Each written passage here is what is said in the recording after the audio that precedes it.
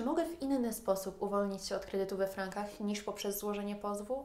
Niestety nie. Uwolnienie się od kredytu we frankach w taki sposób, by jak najmniej stracić, jest możliwe tylko przez pozwanie banku i uzyskanie wyroku stwierdzającego nieważność zawartej umowy kredytowej lub eliminującego z umowy postanowienia mające niedozwolony charakter. Banki niestety nie są chętne do rozwiązywania sporów frankowych w sposób ugodowy, a wszelkie inne sposoby zmierzające do tego, by comiesięczna rata kredytu nie była zależna od kursu franka szwajcarskiego, są dla kredytobiorców po prostu nieopłacalne. Wielu kredytobiorców rozważa na przykład przewalutowanie kredytu. Jednak w chwili obecnej, gdy kurs franka jest na wysokim poziomie, przewalutowanie wygeneruje znaczne koszty, które dodatkowo zwiększą się, gdy bank naliczy prowizję za przewalutowanie, a takie działanie jest w ich standardzie. Dlatego, pomimo faktu, że proces sądowy wydaje się być nieco przerażający, jest to najlepsze rozwiązanie dla kredytobiorców.